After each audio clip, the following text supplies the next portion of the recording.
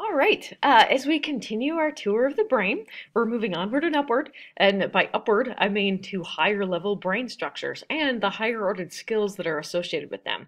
So, um, uh, this, the part of the brain that most people really think of when they think of the brain is the cerebral cortex, all the wrinkly outer gray matter um, that seems to be your, you know, your prototypical view of the brain. Uh, we call it the cerebral cortex in part because cortex refers to bark.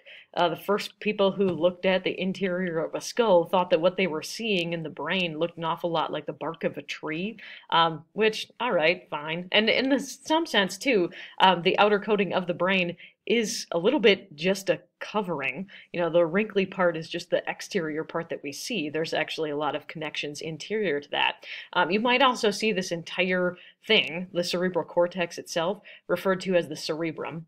Uh, so don't be alarmed if you uh, happen upon that name. It's not one that your textbook tends to use, but it could appear in other contexts, I guess.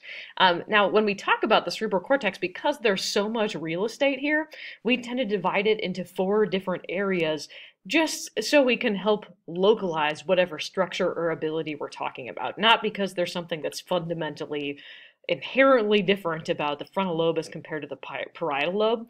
Um, they do have different specialized functions within them, but you certainly wouldn't be able to tell just by looking at like, aha, that part is the temporal lobe, that part is the occipital lobe. Uh, but it does help us to understand the names of these things so we can locate different structures. So the frontal lobe is probably the easiest for people to locate because it is in the front. How convenient. Um, we also have the parietal lobe indicated in blue on this diagram, uh, slightly to the upper and back part of of the cerebral cortex.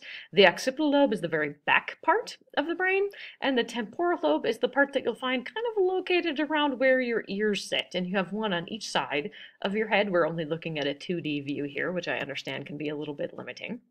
Uh, but this is really the structure that occupies most of the brain's uh, space and weight. Uh, it's 85% of the brain's total weight. And it is composed of a whole lot of neurons, uh, neurons that are connected to each other in diverse ways that allow for the creation of complex neural networks. Um, if we're looking at, okay, what is the cerebral cortex actually composed of?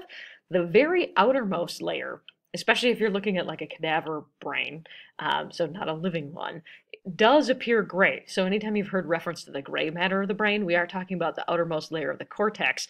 It appears gray um, when we've drained the brain of all of its other fluid and blood and that stuff, because we are looking at mostly the cell bodies or somas of the interconnected neurons of the brain. There's also a lot of glial cells uh, in the cerebral cortex, and I'll come back to that in a moment, because those don't uh, are they're not a lot involved in communication, so they're not something that gets a lot of attention when we talk about the brain's you know functional uh, abilities, but they are an interesting area of research right now.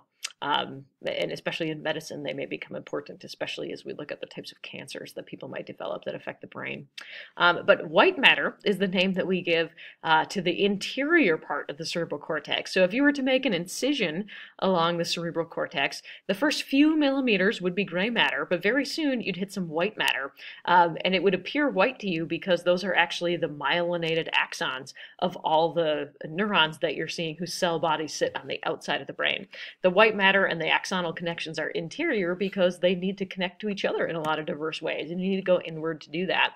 Um, and although it's really difficult to capture in its entirety all of the different uh, functions and roles that uh, the cerebral cortex serves, if you were to capture it in a phrase or a statement, probably you'd go with it's the body's ultimate control and information processing center. Uh, it's the thing that's most involved in decision making and really most conscious decisions that we are capable of um, uh, originate in the cerebral cortex.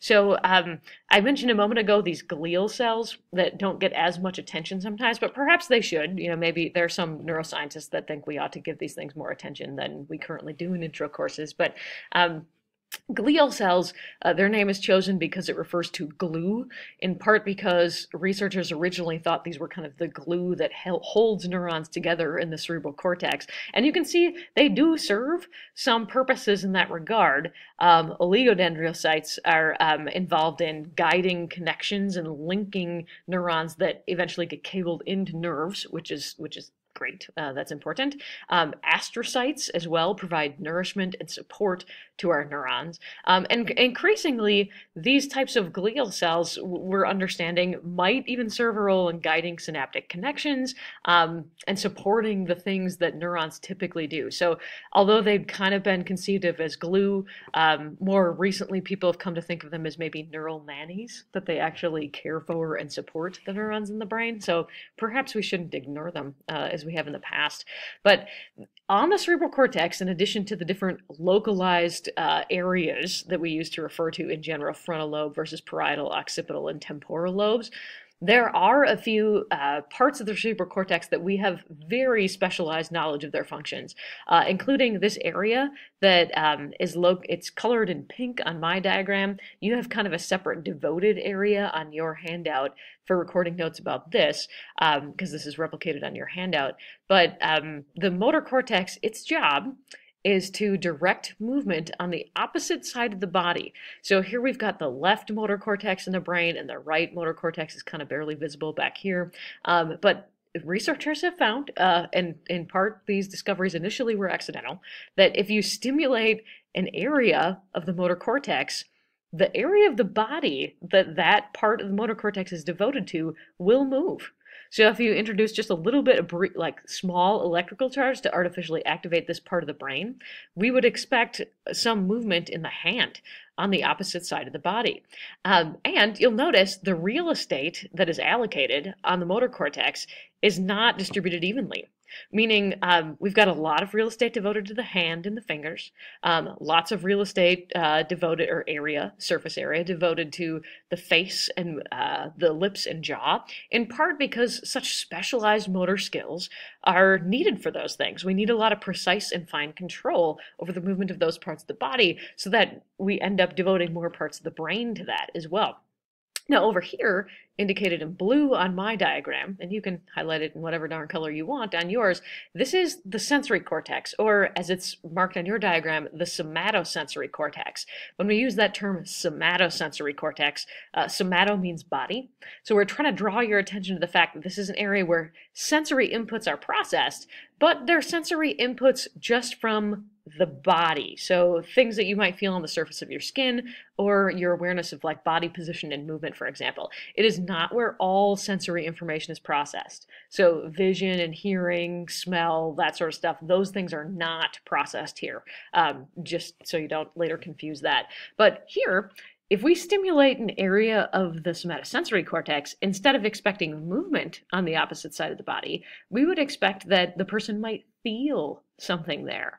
So um, if you stimulate this area of the somatosensory cortex, someone might feel as though their hand is being touched, or they might feel light pressure there, even though there is no sensory input originating in that area. Um, and one thing that is especially cool about these two areas of the cortex, oh, and I should mention, by the way, um, the motor cortex here is located in the very backmost or most uh, posterior part of the frontal lobe. So it's the very backmost part of the frontal lobe. Um, somatosensory cortex is the very frontmost part of the parietal lobe. So this fissure between them actually divides the frontal and parietal lobes from each other. Um, but one interesting thing that's mentioned in your book is like, let's say in some horrific, I don't know, farm accident, you lose your hand because you, I don't know, stuck it in an auger. Please don't do that. It's a bad idea. Uh, but now, all of a sudden, that part of the motor cortex and that part of the somatosensory cortex don't have anything to do. So they're just sitting there.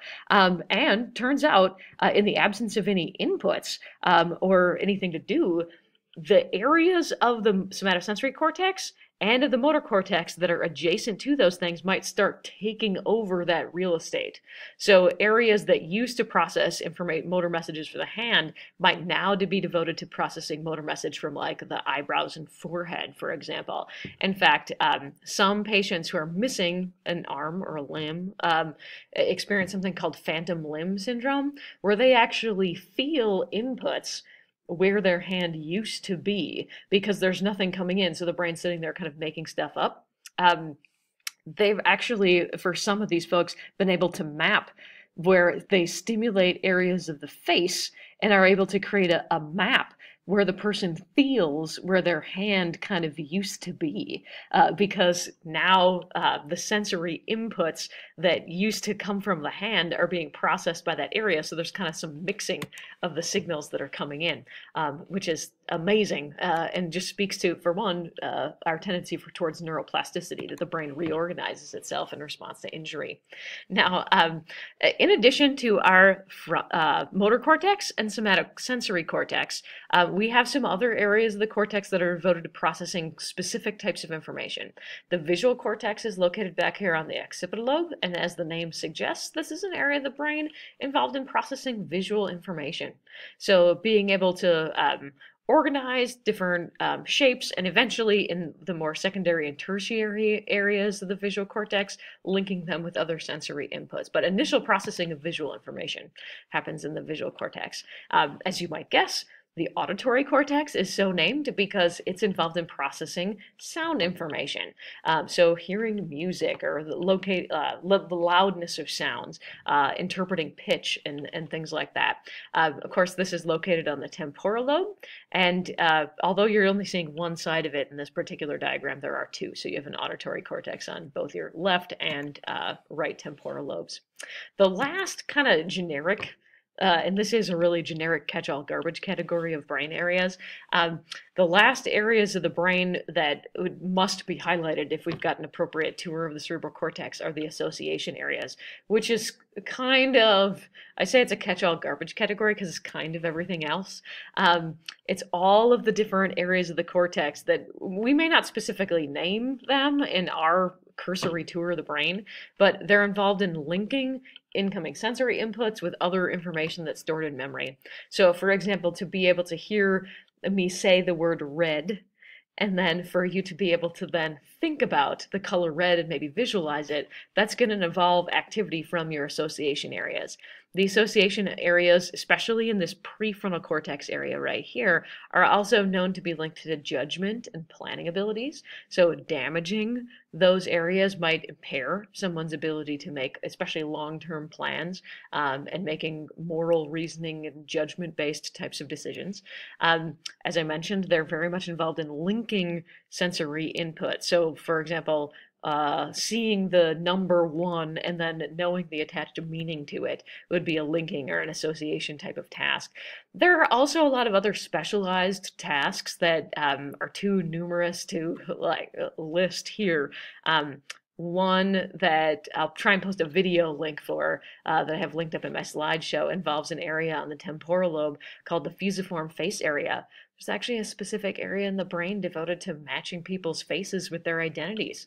So people who have damage to that area can't recognize uh, even people that they've seen many, many times uh, just by a picture. They can't recognize their family members or loved ones. They wouldn't even be able to recognize themselves in a mirror unless they're given other inputs about that person. Um, so lots of different specialized associative tasks occur in the cortex is what I'm getting at. And damage to those areas, as we mentioned, could uh, cause loss of planning abilities or even appear to alter people's personalities. Like a lot of folks who suffer head injuries seem to be fundamentally different until they fully recover from those injuries, in part because it may damage uh, things related to their impulse control or their ability to regulate emotions, which may, to the uh, experience of their loved ones and the people around them, uh, seem to change who they are. Um, and we'll actually be taking a look at a case study where exactly that happened, uh, in a very famous case study in the history of psychology. So with that, um, that kind of concludes our tour of the cerebral cortex. Um, uh, and I will take it through one more uh, example of uh, brain areas specifically involved in language before we get started on your models.